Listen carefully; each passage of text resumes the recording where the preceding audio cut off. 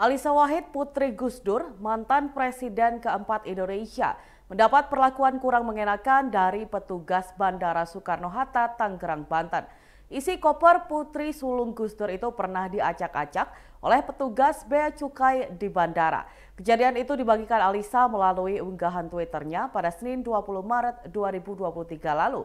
Saat itu sekitar tahun 2019-2020, Alisa sepulang konferensi di Taiwan sempat diminta untuk membuka kopernya.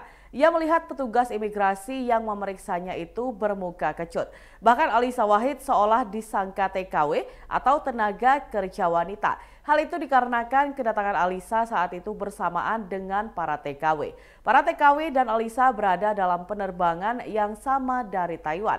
Tak hanya itu, koper Alisa Wahid juga sempat diacak-acak oleh petugas tersebut.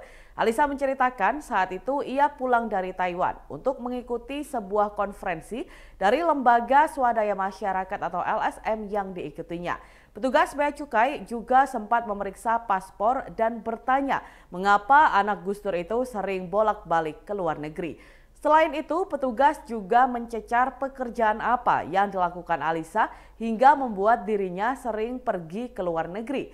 Setelah memeriksa paspor Alisa, akhirnya petugas mengizinkannya lewat.